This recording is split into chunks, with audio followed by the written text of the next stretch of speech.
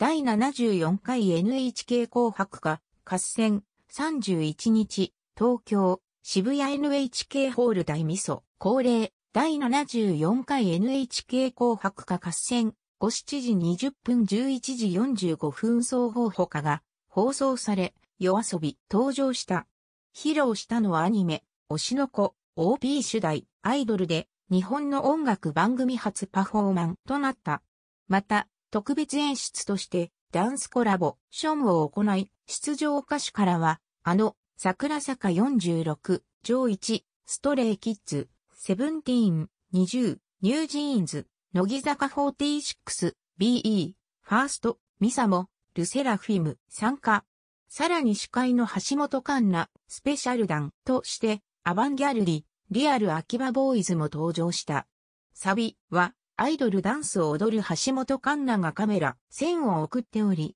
あのと一緒にポーズを決めていい。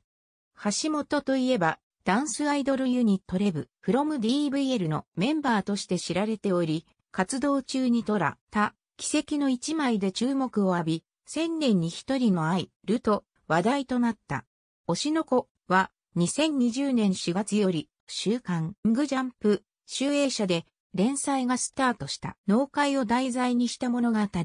産婦人科医として働け、主人公、五郎が推しのアイドル、星野は、と出会うが、ある出来事で死んだ五郎は、の子供に転生してしまう。それをきっかけ、彼女と同じ芸能界の道へ進んでいくスト。コミックスの累計発行部数が1500万部を超え、人気作品で2023年4月にアニメ放送がスタートすと第1話放送時には X、Q、Twitter の世界トレンド1位を得、